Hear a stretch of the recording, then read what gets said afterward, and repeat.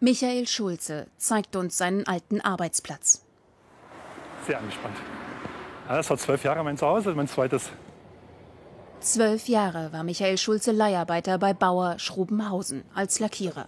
Jahrelang harte Arbeit, dann flog er raus. Es sagt keiner was. Sie finden es alle eine Riesensauerei. Die Leute sind zu mir gekommen, haben gesagt, es ist eine Riesensauerei, was hier läuft. Aber es kann keiner was machen und alleine sowieso nicht. Grüß dich. Servus. So wie? Zwölf Jahre Leiharbeiter, innerhalb von zwei Tagen draußen, weil ich auf eine Einstellung haben wollte. Wo? Hier. Ja, ich sag da nichts dazu. Das wird hier irgendwie seine Gründe haben. Es tut mir leid. Aber. Passt. Nee, Max. Servus. Alles Gute.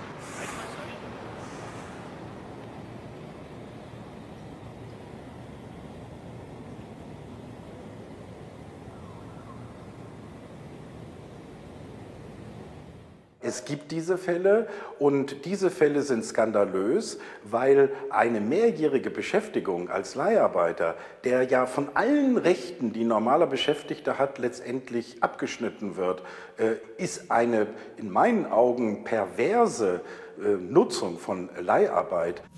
Die Zahl der Leiharbeitskräfte in Deutschland hat sich in den vergangenen zehn Jahren mehr als verdoppelt auf 824.000 das BMW-Werk im bayerischen Dingolfing. Die IG Metall demonstriert gegen den Missbrauch von Leiharbeit. Dingolfing ist der weltweit größte Produktionsstandort von BMW. Rund 20.000 Menschen arbeiten hier, etwa 2.600 davon sind Leiharbeiter, rechnen Arbeitnehmervertreter vor. Wir lassen uns nicht in eine neue Klassengesellschaft im Betrieb aufspalten. Doch Leiharbeiter trauen sich nicht zu protestieren. Sie müssen fürchten, von einem auf den anderen Tag ihre Arbeit zu verlieren. Deshalb demonstrieren vor allem festangestellte BMWler für ihre Kollegen.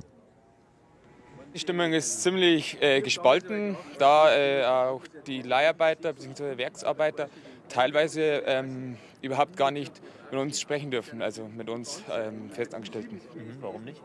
Sie haben eigene Pausenräume, die sind ähm, total abgekoppelt von uns. Wir treffen einen Leiharbeiter, der schon seit Jahren bei BMW arbeitet. Er darf das Firmenlogo am Ärmel tragen, aber kein Namensschild. Das ist Festangestellten vorbehalten. Ich habe nur das BMW-Logo. Wenn man durch die Halle geht, sieht man sogleich, wer festangestellt ist und wer nicht. Wir Leiharbeiter machen auch die schwere Arbeit und kriegen weniger Geld.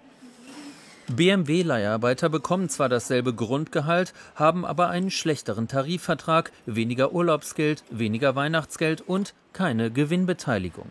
Selbst wenn sie schon jahrelang bei BMW arbeiten, verdienen sie so oft 30 Prozent weniger. Als ich zu BMW gekommen bin, habe ich große Hoffnung mit der Firma gehabt. Aber du kannst hier jahrelang arbeiten und hast immer noch keinen sicheren Job.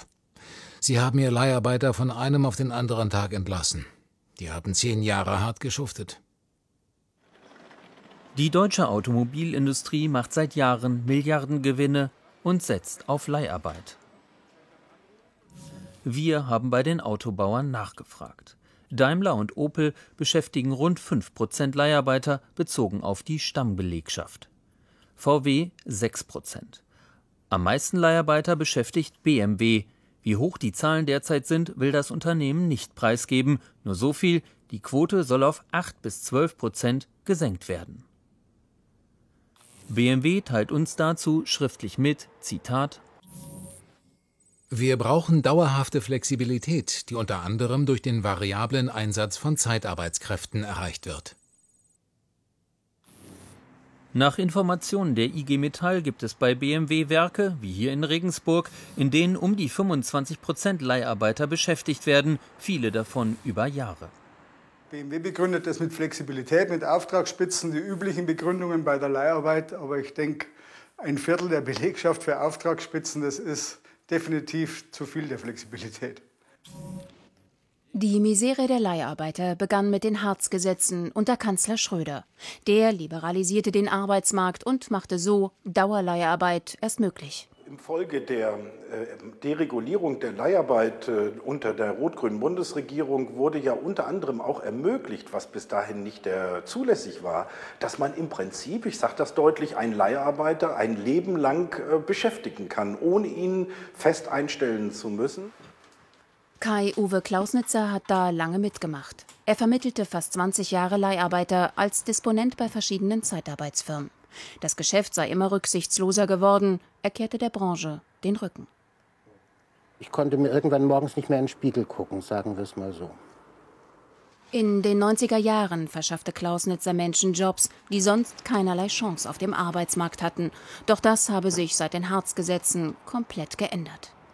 Im Grunde genommen wird einer ausgepresst wie eine Zitrone, bis überhaupt gar kein Saft mehr rauskommt, bis der letzte Tropfen ausgepresst ist und dann wird er weggeworfen. Genau das ist dieses System. Also äh, ich mache ihm irgendwelche netten äh, Vorschläge. Ich sage ja, und wenn Sie ganz fleißig sind und wenn Sie äh, noch mehr arbeiten und wenn Sie auf Ihren Urlaub heute verzichten, denken Sie mal an Ihre Festeinstellung. Diese Probleme sind der Politik seit langem bewusst. Die Praxis der Leiharbeit in Deutschland ist verkommen. Was vor zehn Jahren noch die Abdeckung von Auftragsspitzen war, wird mittlerweile massenhaft ausgenutzt und missbraucht. Es ist in der deutschen Wirtschaft leider auch immer wieder vorgekommen, dass aus jeder Flexibilisierung wieder ein Missbrauch entstanden ist. Man kann es sich gar nicht vorstellen. Die Große Koalition wird weitere Korrekturen vornehmen müssen. Vor zwei Jahren im Koalitionsvertrag versprach die Regierung, die Leiharbeit zu begrenzen. Indem wir eine Überlassungshöchstdauer von 18 Monaten gesetzlich festlegen. Doch dieses Versprechen hat die Regierung bisher nicht eingehalten. Ein Interview lehnt Bundesarbeitsministerin Nahles ab, will sich zu Details nicht äußern. Im Herbst wolle sie das Gesetz ändern. Die Widerstände kommen ganz eindeutig aus dem Arbeitgeberlager, und zwar in der Koalition der Leiharbeitsfirmen, die natürlich keine weitere Begrenzung haben möchten, und aber auch der entleihenden Unternehmen. Die haben natürlich überhaupt keine Lust, äh, sich dieses Geschäftsmodell kaputt machen zu lassen. Leiharbeit als Dauerzustand. Genau so erging es Michael Schulze. Das ist meine Ehrenurkunde für zehn Jahre. Dienstjubiläum, langjährige Treue, stets zuverlässig, beständig engagierten Einsatz im Dienst unseres Unternehmens. Anfangs bot ihm die Bauer AG einen Hilfsarbeiterposten an, schlecht bezahlt. Auf besser bezahlte Stellen bewarb sich Schulze bei Bauer Jahr um Jahr vergebens. Das Unternehmen antwortete, dass wir ihre Bewerbung nicht berücksichtigen können, da wir derzeit in der Bauer Unternehmensgruppe keine Stelle zu besetzen haben, die ihrer Qualifikation entspricht.